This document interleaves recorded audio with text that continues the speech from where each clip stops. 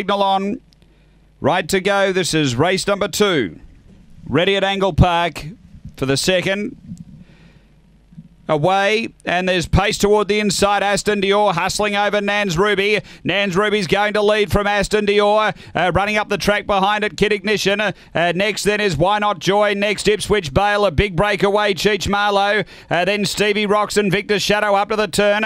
Nans Ruby's going to straighten in front. Aston Dior runs wide. Nans Ruby in front. Aston Dior dives, gets there. Aston Dior right on the post from Nans Ruby. Behind those, Why Not Joy. Uh, then came Ipswich Bale from Stevie Rocks. Uh, Cheech Marlowe, Victor Shadow, and right out the back was Kid Ignition. Uh, the time here is around the 23 second mark. 23.12, in fact, is the run. After the running of race number two, and uh, the numbers here two, six, four, and one.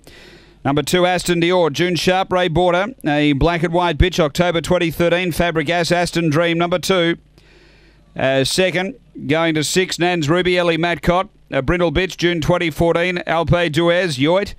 And uh, four, Why Not Joy, Charlie Adcock, a Brindle Bitch, February 2014, Henri Walt. Why Not Lizzie? It's uh, 2641 after race two here at Angle Park.